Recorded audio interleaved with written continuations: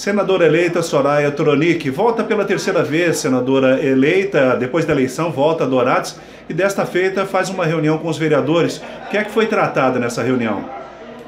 Olá, gostaria de agradecer mais uma vez pela oportunidade de estar conversando com vocês. Então, essa é a primeira visita institucional né, que eu faço aqui para o nosso município de Dourados, porque antes a gente estava em época de eleição ainda, mas eu vim hoje institucionalmente, né?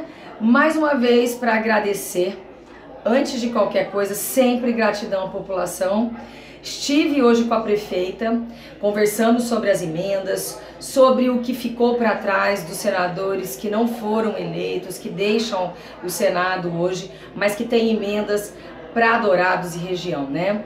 E também com os vereadores foi a mesma a mesma conversa que a gente teve, para que eu possa dar continuidade, eu faço questão de tudo que estava encaminhado no Senado, todas as emendas, todos os projetos de lei, tudo que auxilia a cidade, eu quero dar continuidade, principalmente o crédito para o, o senador Pedro Chaves ou o senador Moca, que muito honradamente trabalharam pelo nosso município.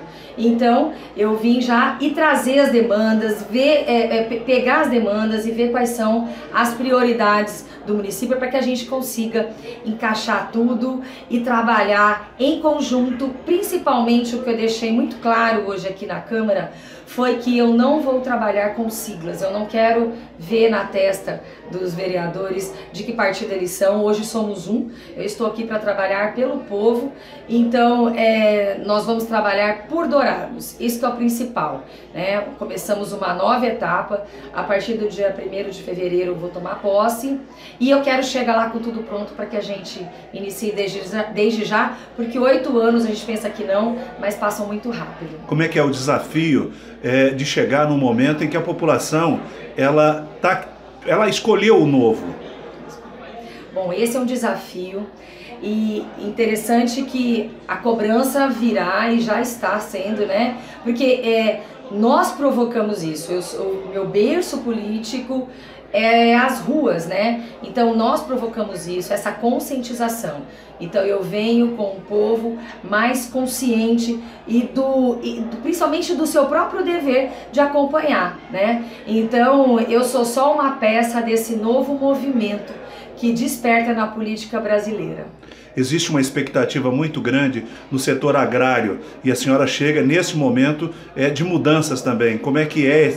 Um outro desafio, mais um é mais um desafio da gente conseguir compatibilizar a proteção ao meio ambiente e, a, e o progresso do nosso agro aqui no nosso estado. Isso é, é o nosso carro-chefe, é, o é a nossa prosperidade. Então temos esse desafio de conseguir conciliar essas duas questões, mas nós eu tenho certeza que nós iremos fazer isso né? E principalmente é, uma das minhas maiores bandeiras sempre foi é, a paz no campo, sempre foi a paz, a igualdade entre todos os brasileiros, né? Nós temos essa questão, a questão das terras, da demarcação de terras, né?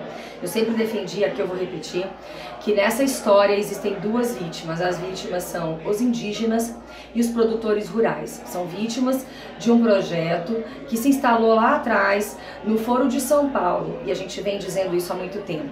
Então, só para as pessoas lembrarem e analisarem junto conosco, nós queremos paz para todos, prosperidade para todos e principalmente a gente tem que lembrar o seguinte: a gente, é, quanto mais se demarca, mais se demarca, mais se demarca, os índios, que são os principais, continuam na miséria. Isso que eu quero que a população raciocine. Por que será? Né? Os índios deveriam estar como os índios dos Estados Unidos, ricos, prósperos, trabalhando. E por que isso não acontece? Então, antes da gente criticar eu quero, gostaria que o povo sumatogrossense parasse para pensar e analisar e buscar informação de onde está esse problema. Qual que é a expectativa da nova ministra Tereza Cristina? Olha, eu fico muito feliz pela indicação. É, nós somos, o Mato Grosso do Sul é, significa 2% do, do, do eleitorado no Brasil. Mas a gente percebe os olhos de Jair Bolsonaro aqui no nosso estado, que para ele é tão caro, tão querido, né? Nasceu, é, é, é viveu em Nioac e ele nunca esquece, ele não pode vê um sul Mato Grossense, não pode me ver que ele se lembra de Neoac com muito carinho, com muito amor.